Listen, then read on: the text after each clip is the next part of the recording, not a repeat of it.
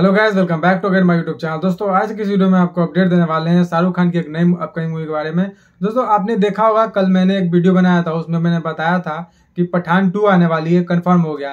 दोस्तों, आपने अगर वो वाला वीडियो नहीं देखा है तो वो वाला वीडियो ज़रूर जाकर देख लीजिएगा, आपको जानकारी मिलेगा। पठान टू के बारे में। दोस्तों, अब बात कर लेते हैं शाहरुख खान की दूसरी अपकमिंग मूवी के बारे में। दोस्तों, आपने देखा होगा जवान जो आई थी मूवी 2023 में सितंबर को ही। दोस्तों, इसके जो बॉक्स ऑफ़िस कलेक्शन थे, वो बहुत ही हाई थे। मतलब वर्ल्ड वाइड रिकॉर्ड ये तोड़ चुकी थी पूरा। दोस्तों, इसका जो बजट था, वो 300 करोड़ था। और एटली के डायरेक्शन में मूवी बन रही थी, जो कि साउथ के डायरेक्टर हैं।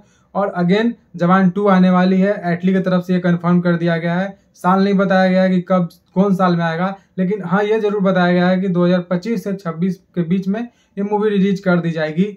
और एटली इस पर स्क्रिप्ट लिखना चालू कर चुके हैं। दोस्तों, आपने देखा ही होगा कि जवान कितना पॉपुलर रही थी ये मूवी और इसमें इस, जो एटली हैं डायरेक्टर उन्हें भी अवार्ड मिला था। और फ़िल्म के बहुत सारे स्टार कास्ट में जो थे, उन्हें सभी को अवार्ड मिला था, इस मूवी को ज़्यादा से ज़्यादा अवार्ड मिला था 2023 में।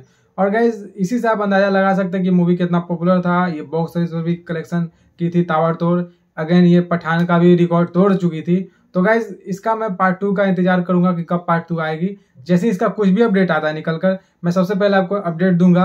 और गाइज़ ये लेकिन कंफर्म है कि पठा, जो जवान टू है सॉरी वो आने वाली है। एटली ने कंफर्म कर दिया है। लेकिन इसका जो रिलीज़ डेट का टाइम नहीं बताया गया है, कौन से साल में रिलीज़ होगी। लेकिन हाँ इतना ज़रूर बता दिया गया है कि 25 से 26 2025 यानी 2026 के बीच में ये मूवी आएगी ही आएगी। दोस्तों, आपको ये अपडेट अच्छा लगा हो तो प्लीज़ वीडियो को लाइक से सब्सक्राइब कर लीजिएगा।